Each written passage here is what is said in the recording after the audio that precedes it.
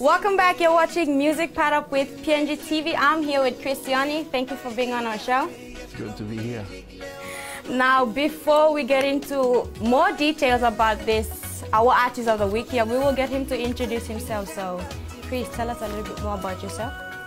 Hi, I'm Christopher Sione, known as Chris Sione. I'm from Mortlock Island in Arob. I was born and raised in Kokopo, Eastern Britain. Okay. Um, were you were you born into a music family, or are your both parents musicians? Um, not really. Uh, we just went to church and yeah. So that's I where you started singing a lot, singing? yeah. You started singing in church. I started playing bass in church. Okay, so that answers my question. Where did you start singing? In what year did you start recording and where? I started recording when I was in grade 11. That was in 2008.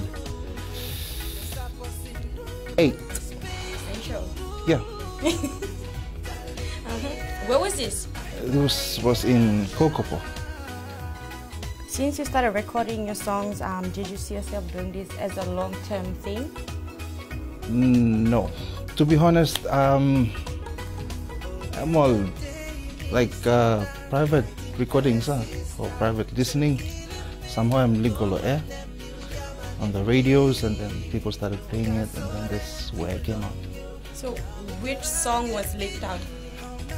There were two songs, Gutsomi and Lewa. Okay. What caused you to start a record in the first place? My big brother, now working with uh, Digicel, uh, used to sing, and uh, I I used to produce music. So time I'm losing poco po nag-walk buka. Then all beats to me go wasted, so I started singing.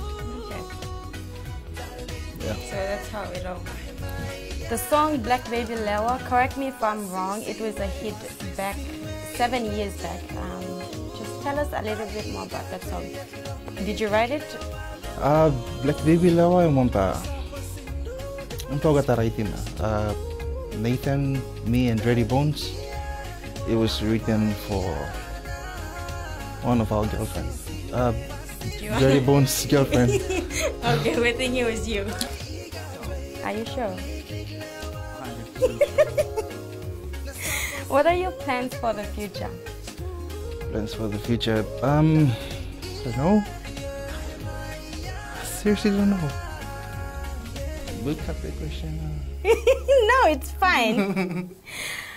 well, there you have it, viewers. Chris Sione, stay tuned. When we come back, we get to hear more from the artist himself.